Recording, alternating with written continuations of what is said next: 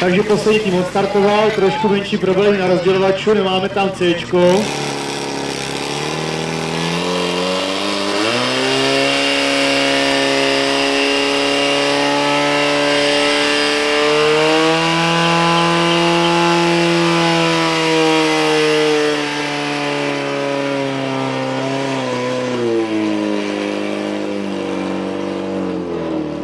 No, doma myslíce nebudou rádi. Tak, jak se tak dívám, máme už dobojováno, napravo sraženo za 18,72, vlevo trošku později, je to i výsledný čas 19,43, a jak se tak dívám, 19,43 dosáhli i doma myslíce, ale Pavlov má lepší čas na druhém terči.